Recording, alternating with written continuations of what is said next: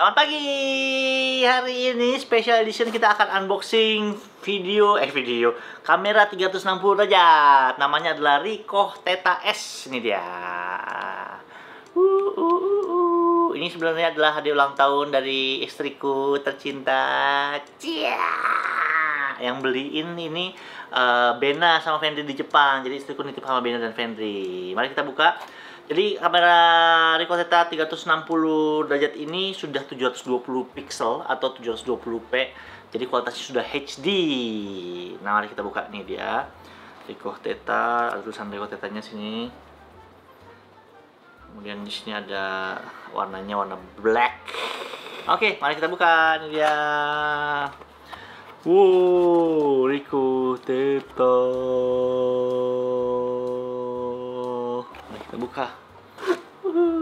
Theta S.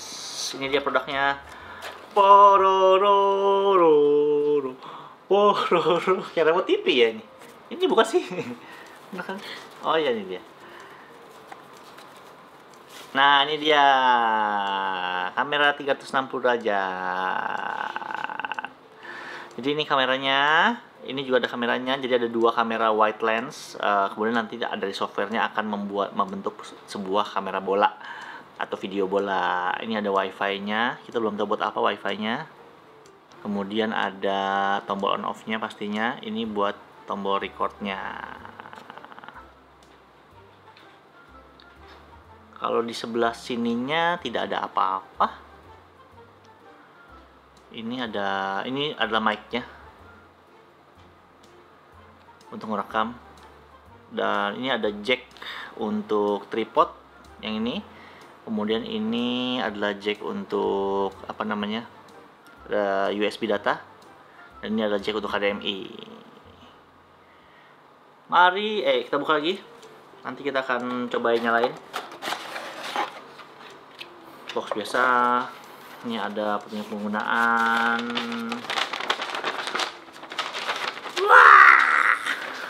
nggak perlu dibaca ya baca deh uh, important message caution handle the lens part with caution because it's made of lead charge the battery using PC supply cable penting sebenarnya kalau yang produk-produk zaman sekarang itu petunjuknya sudah ada di uh, online. Jadi kalian biasanya dikasih alamat websitenya, kalian tinggal bisa cari aja. Ini apa ini? Oh ini quick start guide-nya. Kita baca. Kemudian ada, oh iya, yeah, ada, ada, ininya tempatnya, biar nggak gampang lecet.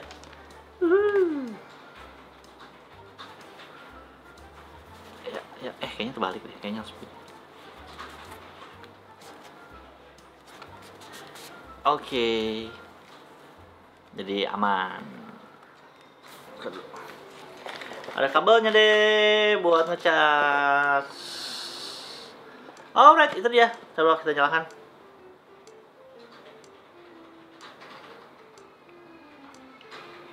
Uh, nyala. Itu pakai memorinya apa kok? Ini memorinya mana ya? Saya juga bingung nih. Nggak ada lubang memorinya. Coba kita coba baca ya Ricoh Theta S mikrofon speaker lensa shutter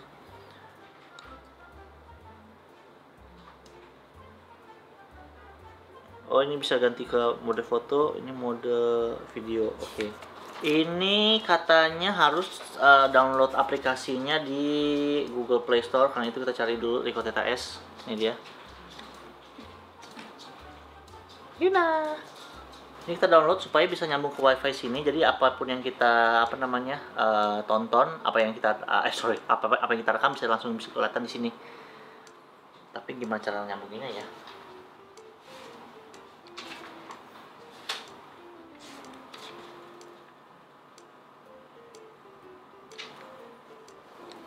kita masuk dalam sini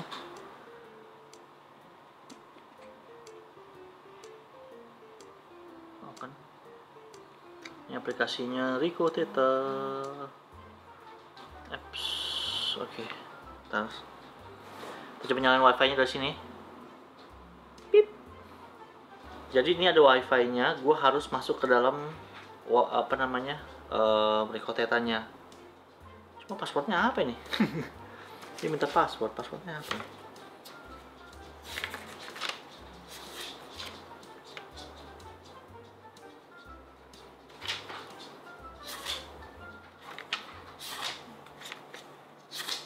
Oke, kita udah dapat passwordnya. Ternyata passwordnya ada di bawah sini.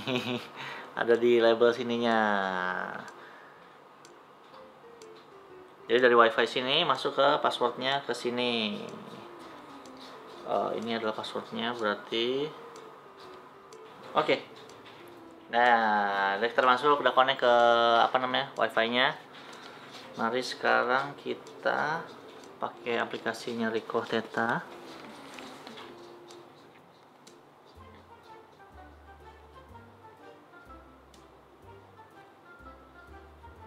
Oke. Kita masuk ke aplikasinya, jadi kita bisa ngerekam langsung. Coba yang rekam. Tinggal pencet ini. Oh ternyata ini udah 1080 loh. Udah bukan 720 lagi, ternyata 1080 HD. Wow, udah full HD. Harusnya hasilnya bagus ya. Ini kita coba. Oke. Selesai merekam. Kemudian kita lihat hasilnya.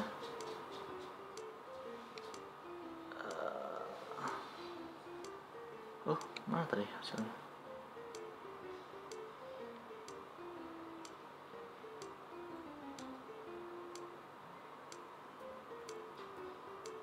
Hmm.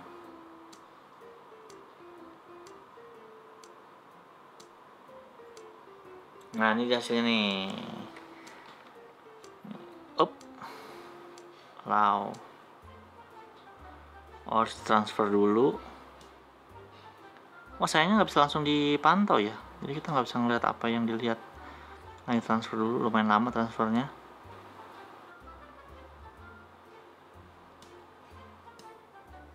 Nah ini dia hasil tadi kita tuh bisa muter kan 360 derajat. Oh iya. Tuh. Ini kalau pakai kacamata virtual reality pasti jadi bagus. Ada jari gue di situ lagi megang di aja tapi di kotak nggak kelihatan gitu ya. Sulap. Uh, bawahnya coba kak. Bawahnya tangan. Hebat ya. Ada Cici Fanny lagi lagi kamera juga Cici Fanny hari ini rocker banget kayaknya ya. gitu, keren. Coba ya, saya mau coba bagaimana caranya supaya kita bisa langsung mengawas. Oh ini bisa nih. Kalau buat kalau foto bisa langsung mengawas. Nih, kak saya angkat ke atas, tuh bisa kelihatan kan? Angkat ke bawah, ngikutin. Nih, tuh. Tapi kalau video sayangnya nggak bisa langsung ya. Itu sih apalagi yang bisa dilakukan ya. Oh, udah deh. Mudah-mudahan ini bisa bermanfaat. Pastinya kita akan coba nanti untuk bikin-bikin vlog 360 derajat. Uh, jadi teman-teman bisa geser-geser dan nggak ada yang ditutupin semuanya terlihat sampai jempolku yang besar ini.